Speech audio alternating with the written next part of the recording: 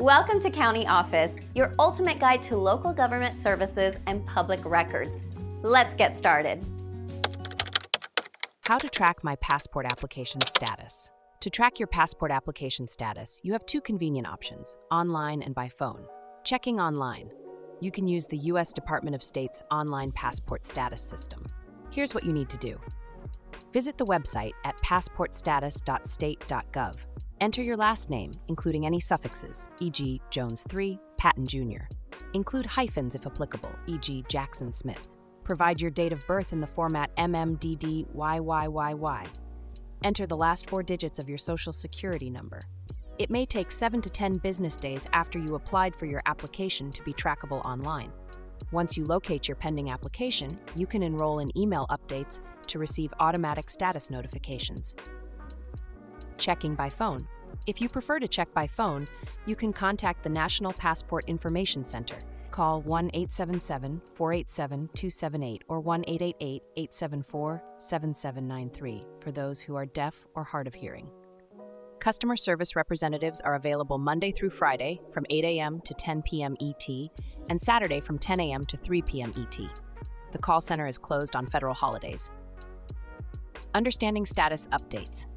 Here's what each status update means. Not available. Your application hasn't arrived at a passport center yet, or there might be a technical issue. It can take up to two weeks for your application to be processed. In process. Your application has reached a passport center and is being reviewed.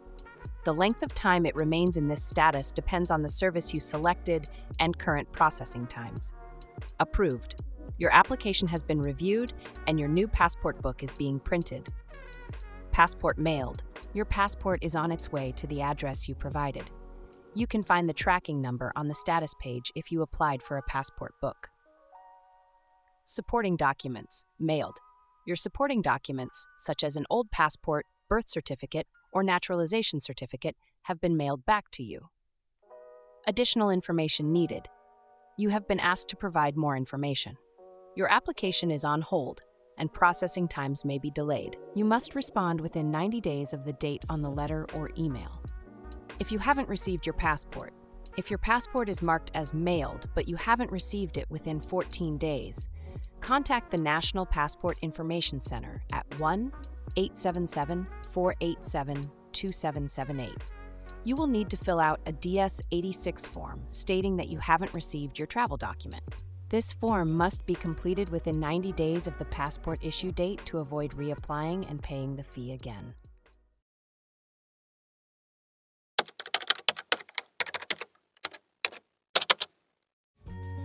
To learn more, check out these links, which you can click in the description below. And feel free to comment your questions. We're here to help. Thanks for tuning in to our video. Please like and subscribe and leave a comment below. See you in the next video.